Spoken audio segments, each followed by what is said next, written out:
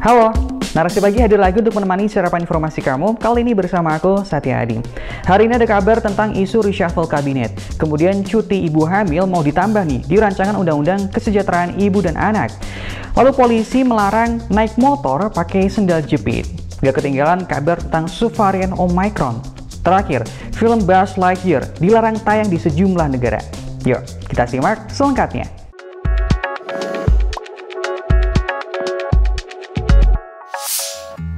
Isu reshuffle kabinet sedang bergulir. Kabarnya Presiden Joko Widodo akan merombak kabinetnya hari ini, 15 Juni 2022. Apa benar? Isu reshuffle atau perombakan kabinet menguat nih, terlebih di kalangan elit politik yang kini menjabat. Kabarnya, dalam dua hari terakhir sejumlah menteri dipanggil secara terpisah oleh Presiden Joko Widodo. Kemarin Jokowi bertemu dengan Ketua Umum Golkar yang juga Menko Perekonomian Erlangga Hartarto. Ada juga menteri dari Partai Nasdem, yaitu Menteri Pertanian Syahrul Yassin Limpo dan Menteri Lingkungan Hidup dan Kehutanan Siti Nurbaya Bakar. Lalu di sore hari kemarin ada Menteri Pertahanan Prabowo Subianto yang bertemu Jokowi. Disusul Menteri Agraria Sofyan Jalil dan Wakil Menteri Agraria Surya Chandra. Diketahui Menteri Perdagangan Muhammad Lutfi juga dikabarkan dipanggil Jokowi. Sementara dari luar menteri, ada ex-Panglima TNI Marsikal Purnawirawan Hadi Cahyanto yang juga dipanggil. Waduh, ramean ya yang dipanggil. Merespons hal ini nggak ada bantahan dari Sekretaris Kabinet Pramono Anung. Ia menyebut langkah itu merupakan hak prerogatif Presiden, sebab Jokowi lah yang paham kondisi kabinet saat ini. Dari kabar yang beredar, akan ada nama besar yang diberhentikan dari Kabinet Indonesia Maju. Siapa aja ya? Beberapa pos menteri yang santer dikabarkan bakal diganti itu ada di pos kementerian terkait bidang ekonomi, Posisi wakil menteri juga turut jadi sorotan di tengah isu reshuffle ini, sebab ada beberapa kursi wakil menteri yang belum terisi. Adapun desas-desus menyebut mantan Menteri Pariwisata dan Ekonomi Kreatif Wisnu Tama serta Ketua Umum PAN Zulkifli Hasan bakal masuk ke dalam kabinet. Sebelumnya rumor soal reshuffle pernah ditanyakan ke Presiden usai meresmikan Masjid At-Taufik di kantor PDIP di Lenteng Agung, Jakarta pada Rabu 8 Juni 2022. Kata Jokowi sih belum ada reshuffle, Soal perombakan ini, pengamat politik Rai Rangkuti menyebut seharusnya Presiden membatasi kehadiran perwakilan parpol di dalam koalisi ini. Sebab posisi menteri yang merangkap sebagai kader dikhawatirkan akan memiliki benturan kepentingan saat menjalankan tugas. Dalam masa kepemimpinannya, Jokowi memang sudah beberapa kali melakukan copot pasang kabinet. Pada periode keduanya bersama Wakil Presiden Ma'ruf Amin, Jokowi tercatat telah merombak kabinetnya sebanyak dua kali, yakni akhir 2020 dan jelang pertengahan 2021. Kalau di periode pertama masa pemerintahannya bersama Yusuf Kala, Jokowi melakukan perombakan sebanyak empat kali. Yang digadang-gadang jadi menteri udah standby telepon belum? Bukan, bukan, bukan dari istana. Tapi kita sebagai warga berharap kalau reshuffle itu dilakukan demi kinerja yang lebih baik, bukan semata-mata transaksional. Udah jam berapa nih? Kita tungguin aja ya. Ada kabar baik untuk para bumil nih. DPR mengusulkan cuti hamil diubah menjadi 6 bulan dalam rancangan Undang-Undang Kesejahteraan Ibu dan Anak. DPR sepakat RUU Kesejahteraan Ibu dan Anak dibahas lebih lanjut jadi undang-undang. Dalam rancangan bilet itu, perempuan yang melahirkan diusulkan berhak mendapat cuti paling sedikit 6 bulan dan masa waktu istirahat satu setengah bulan untuk ibu bekerja yang mengalami keguguran. RUU itu juga mengatur penetapan upah bagi yang sedang cuti melahirkan. Untuk tiga bulan pertama masa cuti, ibu bekerja bakal tetap digaji penuh. Sedangkan di bulan keempat, upah mulai dibayarkan sebanyak 70%. RUU Kesejahteraan Ibu dan Anak atau RUU KIA ini masuk dalam daftar program legislasi nasional prioritas 2022. RUU ini pun akan dibawa dalam sidang paripurna DPR selanjutnya. Ketua DPR RI Puan Maharani mengklaim RUU ini dirancang untuk menciptakan SDM Indonesia yang unggul. Puan pun mengingatkan pentingnya seribu hari pertama kehidupan yang merupakan periode krusial tumbuh kembang anak. Kalau kita kilas balik, durasi waktu cuti melahirkan selama ini cuma 3 bulan. Kebijakan itu diatur dalam Undang-Undang Nomor 13 Tahun 2003 tentang Ketenagakerjaan. Meski begitu, di jagat maya netizen mengimbau juga penting adanya cuti bagi ayah, sebab peran tanggung jawab pengasuhan gak cuma tanggung jawab ibu seorang diri. Selain itu, dianggap agar nilai laki-laki dan perempuan setara di dunia kerja. Soalnya ada juga yang khawatir kalau aturan ini diterapkan akan ada diskriminasi untuk perempuan. perusahaan dikhawatirkan akan pikir-pikir lagi kalau mau merekrut pegawai perempuan karena nggak mau menerima konsekuensi cuti hamil. Merespons hal ini, Eksekutif Director Perkumpulan Keluarga Berencana Indonesia, Eko Mariadi, menyambut baik usulan DPR untuk membahas RUU KIA. PKBI menyambut baik ya um, usulan DPR untuk uh, membahas rancangan Undang-Undang Kesehatan Ibu dan Anak ya Nah itu harus dipenuhi oleh pemerintah. E, meliputi ada antara lain misalnya e, pelayanan kesehatan umum, e, kemudian pelayanan kesehatan pada saat kehamilan, mendapatkan perlakuan dan fasilitas khusus e, pada saat e, perempuan mengalami apa kehamilan dan kelahiran ya, sampai memperoleh rasa aman dan perlindungan dari berbagai bentuk uh, apa uh, dan harus uh, dipenuhinya hak uh, untuk uh, cuti yang uh, bagi ibu-ibu yang mengalami kehamilan termasuk juga untuk karena uh, tugas melahirkan dan membesarkan anak itu bukan menjadi tugas uh, utama dari seorang ibu tapi itu menjadi tugas keluarga yang terdiri dari jadi di sini memang ada gap yang harus dibahas di apa kalangan anggota DPR. Bagaimana menemukan formulasi yang tepat? Apakah tiga bulan cukup, empat bulan cukup, enam bulan yang sekarang yang diusulkan itu cukup gitu loh. Hak untuk suami mendapatkan cuti perawatan istri yang melahirkan, menurut saya itu juga harus dibahas dan harus diberikan porsi yang cukup lah.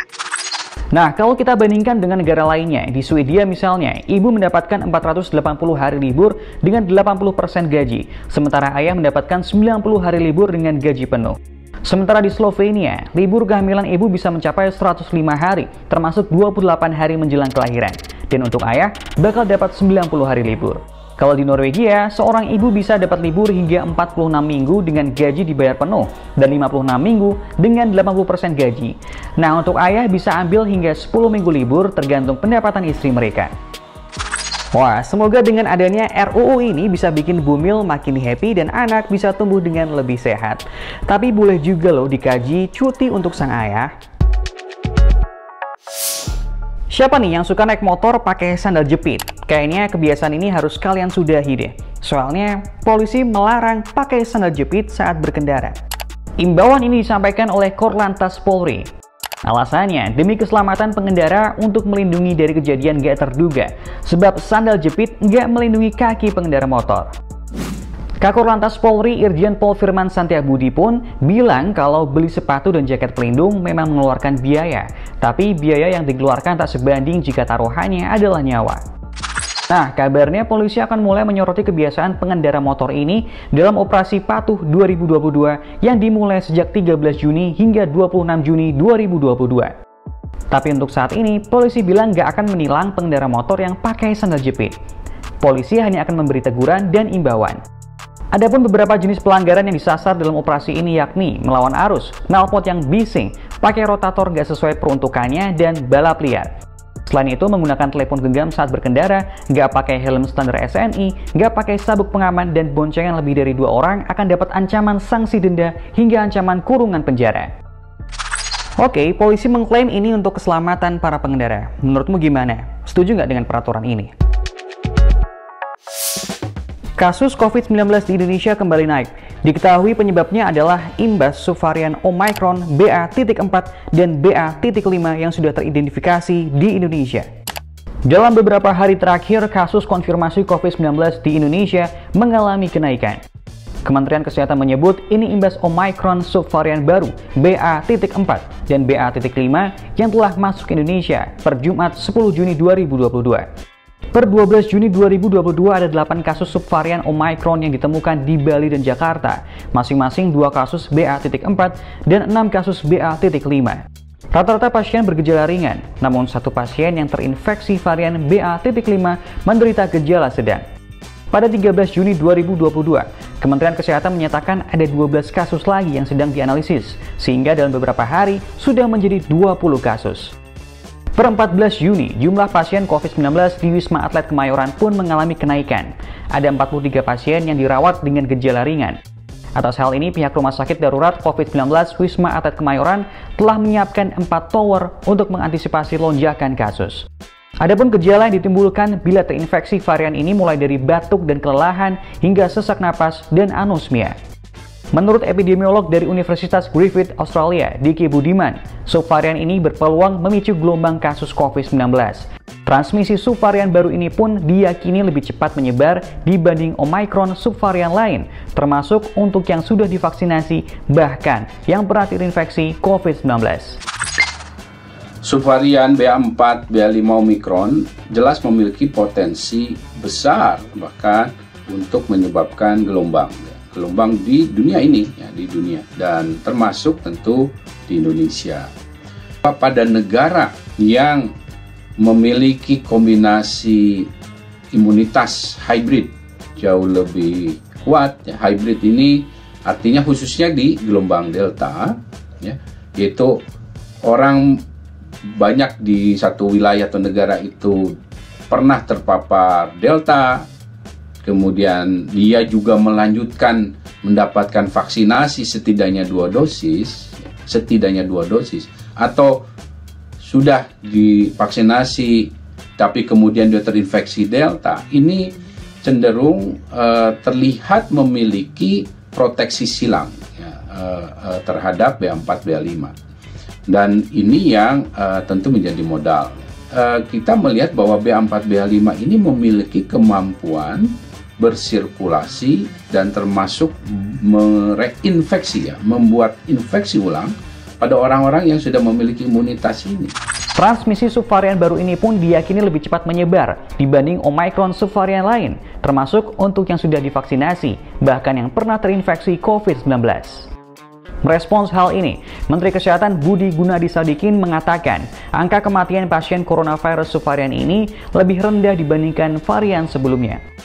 Budi memprediksi puncak gelombang varian baru akan terjadi pada minggu kedua atau ketiga Juli. Perkiraan tersebut berdasarkan pengalaman dalam menghadapi subvarian sebelumnya. Pemerintah pun mengimbau masyarakat untuk tetap waspada dengan tetap pakai masker di dalam ruangan maupun di luar ruangan, serta segera mengambil vaksin booster. Normal. Jadi arahan beliau yang pertama adalah satu, vaksinasi booster ditingkatkan terus. Karena sekarang kan sudah bulan Juni Juli ini. Semua negara sudah siap-siap ada gelombang berikutnya. Ya. Pengata, pengamatan kami ini gelombang B4, B5 itu biasanya puncaknya tercapai satu bulan sesudah penemuan kasus pertama. Jadi harusnya di minggu kedua Juli, minggu ketiga Juli kita akan lihat puncak kasus dari B4, B5 ini. Hmm, baru aja protokol kesehatannya dilonggarin. Kita sama-sama saling jaga ya guys, demi keselamatan kita semua. Film animasi terbaru Pixar Buzz Lightyear dapat kecaman nih. Film itu dilarang tayang di 14 negara kawasan Asia dan Timur Tengah. Hal itu diduga imbas adanya adegan ciuman pasangan sesama jenis dalam animasi ini. Adegan itu melibatkan karakter Space Ranger perempuan teman dekat Buzz bernama Alicia yang menikahi perempuan lain. Sebuah sumber mengatakan Lightyear bakal nggak tayang di 14 negara, termasuk China yang meminta pihak berwenang untuk memotong adegan itu. Permintaan itu ditolak oleh Disney. Produser Lightyear, Galen Sussman, juga enggan membuat perubahan dalam film. Uni Emirat Arab pun melarang penayangan film itu karena adegan ciuman sesama jenis. Selain itu, Arab Saudi dan Kuwait juga ikut melarang penayangan spin-off Toy Story ini. Kabarnya, Lightyear nggak pernah mengajukan ke lembaga sensor Arab Saudi untuk dapat hak lulus sensor. Sementara itu Mesir, Lebanon, Malaysia, termasuk Indonesia juga disebut nggak mengizinkan penayangan film Lightyear. Meski demikian, belum ada pernyataan resmi dari negara-negara tersebut terkait penayangan film ini. Film Lightyear dijadwalkan tayang perdana di bioskop Amerika Serikat dan Kanada pada 17 Juni 2022 mendatang. Film ini merupakan spin-off dari Toy Story. Film animasi besutan Disney dan Pixar ini berfokus pada karakter Buzz Lightyear. Dalam spin-off ini, Buzz menjadi seorang Space Ranger sungguhan, tinggal di luar bumi dan menjalankan misi melawan alien. Well, topik tentang LGBTQ+, memang masih pro dan kontra terutama di kawasan Asia. Hmm, padahal mungkin udah banyak fans Buzz Lightyear nih yang nungguin film ini. Itu tadi sarapan informasi kamu hari ini. Narasi pagi akan hadir lagi besok pukul 8 waktu Indonesia Barat. Live di Instagram, Narasi Newsroom, dan Mata Najwa. Sehat selalu ya kawan. Sampai jumpa.